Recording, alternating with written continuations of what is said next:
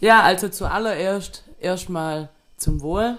Hier gibt es einen 43er mit Milch für mich und ich habe Feierabend und deshalb erstmal herzlich willkommen im Feierabend. Und weil hier seit gestern die 101 steht, ähm, ja, habe ich mir überlegt, was macht eigentlich Jochen hier schon seit 24 Stunden und äh, lass mir das jetzt mal erklären und habe gedacht, jetzt lasse ich heute einfach mal Kamera unser kleines Zoom-Gerät nebenher laufen. Ja, hallo. Ich habe in letzter Zeit YouTube-Tutorials angeguckt über Dr äh, Drum-Synthese und verschiedene Geräte, die es da jetzt auf dem Markt gibt und wollte einfach mal gucken, mit, mit was ich das hier auch machen kann. Und äh, ja, habe jetzt einfach mal den 101 hier nach vorne geholt. Und äh, das ist ein Synth, also ganz normal. Hier vorne hat er Oszillatoren, das klingt dann so. Das ist ein Sägezahn, hier kann man die Wellenform auch ungefähr sehen. Das Ganze geht dann hier in den Filter rein, geht hier in den Filter rein. Und dann kann ich den Klang hier praktisch filtern. Und äh, wenn ich die Resonanz aufmache, fängt es ein bisschen an zu kreischen mehr. Und das Interessante ist, dieses Kreischen, das äh, hört man immer noch, auch wenn ich den Oszillator äh, wegnehme. Also da hört man jetzt erstmal praktisch gar nichts. Ja, ist ja kein Eingangssignal da.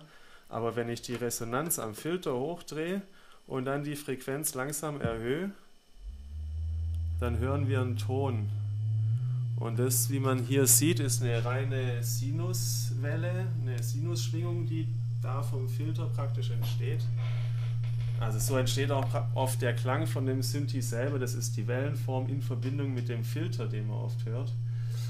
Und äh, ja, wenn, wenn man jetzt Drum Sounds erstellen will, äh, eine Sinuswelle hat es ja hier gar nicht, aber äh, über den Filter komme ich doch zu einer.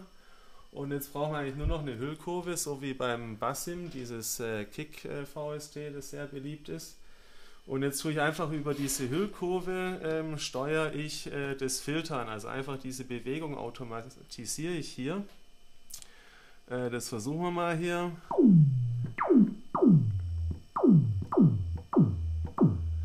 Und dann müssen wir nur noch gucken, dass der Grundton auch wirklich dem entspricht, was ich hier spiele. Also jetzt spiele ich zum Beispiel mal hier auf meiner Tastatur ein C und muss jetzt das Filter so weit bewegen, bis hier auch ein C angezeigt wird. Das ist Millimeterarbeit. Müh.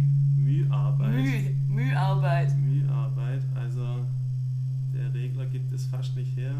So ungefähr bin ich jetzt auch wirklich bei einem C. Und wenn ich jetzt hier das Keyboard Follow auch noch einschalte und dem Filter sage, je höher ich spiele, äh, desto höher soll er auch das Filter spielen, kann ich diese Kick dann plötzlich auch tonal spielen.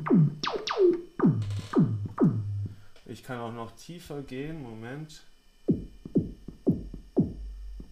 Ich weiß nicht, ob ihr das noch hört auf euren Computermonitoren.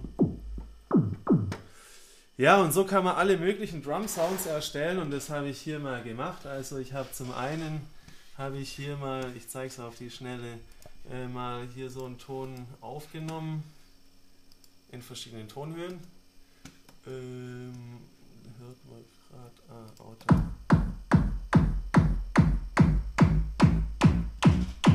Hier ein anderer.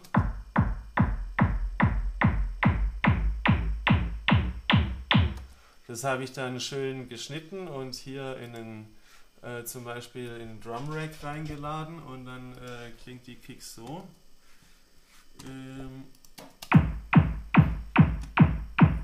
und jetzt habe ich einfach weitergemacht. Also der Bass ist jetzt nicht so toll hier, aber auf die Schnelle mal den Bass noch dazu gezaubert. Moment, ich mute. Von woher? Auch alle, das ist alles äh, nur die 101, was ihr jetzt hört. Wirklich nur die 101. Das ist die Kick. Dann habe ich auf die Schnelle einen Bass geschraubt. Hier habe ich eine Snare gemacht. Das ist praktisch nur weißes Rauschen, ein bisschen Hüllkurve und das war's schon. Hier hatte ich eine zweite Snare gemacht, die ich dann aber nicht so gut fand. Und äh, die habe ich dann hier habe ich die praktisch noch kürzer gemacht und einfach das Sample hochgepitcht und so bin ich dann zu einer Hi-Hat gekommen oder zu was, was klingt wie eine Hi-Hat. Und äh, dann machen wir die Snare dazu. Und jetzt habe ich hier noch so einen Woodblock-mäßigen Offbeat-Dinger, kennt man ja. Auch die 101, da habe ich ein bisschen Reverb und so drauf gegeben. Und habe hier auf die Schnelle mal noch eine Melodie eingespielt, auch die 101. Auch mit Delay hier vom PCM80. Ja, und alles zusammen ist jetzt also praktisch ein One-Synth Psytrance Loop. Klingt dann so. Oh, Moment. Äh, ähm, klingt dann so.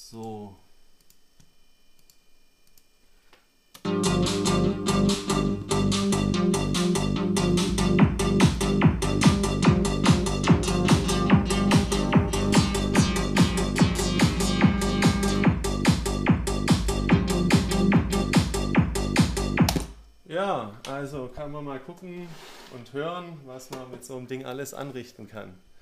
Ja, und äh, zum Beispiel die Kicks, hier geht es ja noch weiter. Ähm, ich gehe hier aus dem Synth raus, rein in die Patch Bay. Und von da gehe ich dann praktisch weiter ähm, zum Transient Designer, dann hier oben zum Charisma und äh, zum Vitalizer. Und äh, da könnte man jetzt praktisch diese Kick auch noch bearbeiten. Oder ein bisschen verzerren hier. Tiefbass dazufügen.